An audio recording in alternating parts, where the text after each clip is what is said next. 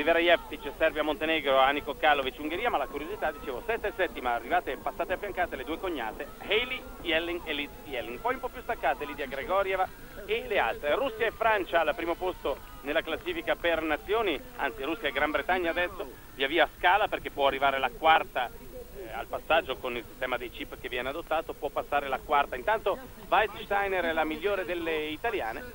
con il suo passaggio proprio pochi momenti fa, no, è affiancata a Patrizia Tisi. Sono assieme adesso il passaggio di Vincenza Sicari,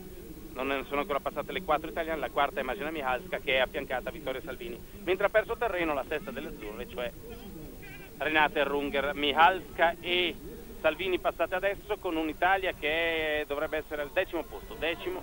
decima piazza per l'Italia, questi piazzamenti singoli, 33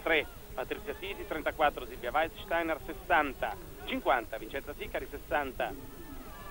Vittoria Salvini, 61 Magena Mihalska ed è scivolata indietro e a questo punto il rischio che si sia ritirata Renate Runger. E la Mihalska è il rientro dopo un infortunio, la polacca faceva i 400 metri di ostacoli con il matrimonio proprio con Claudio Piana, è diventata italiana. Guarda che attacco adesso per Lorna Kick, ragazzi, eh, trova... un po' rifiatato, si è guardato in giro e poi ha dato un'altra sparata mettendo in crisi nell'ordine Sabrina Mockenhaupt, la svedese Johanna Nilsson, che somiglia molto a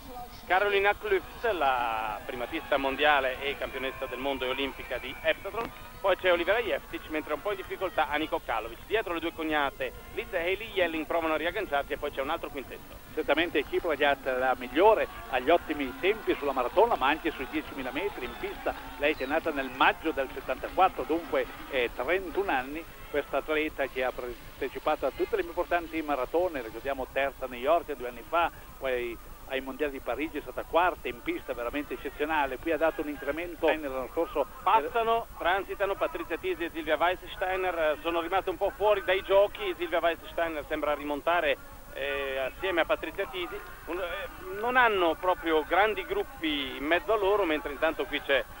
la leader Lorna Kiplagat che ha fatto veramente il vuoto e adesso pur non esperta di questi cambi di ritmo, cambi di direzione, lei è oltretutto molto alta, però anche molto agile, qui lo vediamo, stacca Sabrina Mockenhaupt. E il pubblico comincia davvero a gasarsi, ecco qui Olivera Jeffic, ecco la svedese Nilsson, Johanna Nilsson, mentre Nico Kalovic sembra aver alzato bandiera bianca, intanto transitano anche Salvini e Magena Mihalska, credo proprio si sia ritirata a questo punto. Renate Runger che non è transitata alla, ai 3160 metri di gara. Decisamente Cipro ragazzi avete visto va dentro nel fangio, non va a cercare i punti migliori ma dove spingere correndo all'esterno, cerca la linea più breve di corsa vicino alle transenne, taglia le curve anche se c'è fango, entra nelle pozzanghere, ecco questo è un tratto che ce lo pone, potrebbe stare più all'esterno, trovare maggiore spinta, maggiore aderenza, dunque azione avanzante e invece così veramente Fortuna bella. che non ama la corsa campestre. E la cosa curiosa è che keniani, gli africani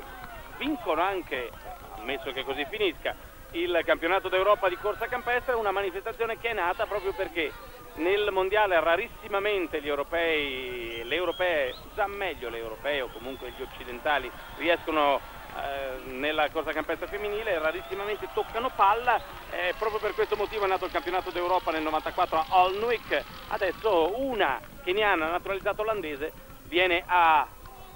essere protagonista per il momento, non voglio dire primeggiare, non voglio dire vincere, perché dietro Sabrina Mockenhaupt pare ancora in spinta e pare ancora piuttosto ben concentrato, oltretutto a quel punto di riferimento là davanti. Ecco, i keniani vincono anche l'europeo, o rischiano di farlo. E certamente questa atleta che fa del bene anche per il suo paese, ha speso delle cifre enormi, si sì, parla ancora... Fondazione fondazione proprio per un camp per le giovani atlete keniani, sembra che abbia speso una cifra attorno ai 200 mila dollari, spesa non indifferente, per contribuire all'evoluzione femminile dello sport dell'atletica proprio in Kenya.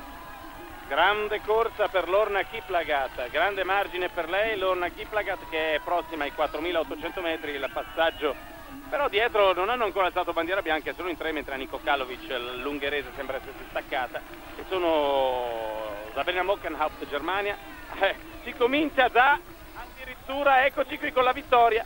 Il primo posto per Lorna Kiplagat che è andata a vincere davanti a Sabrina Mockenhaupt, il terzo posto poi di Johanna Nilsson, il quarto per Olivera Jeftic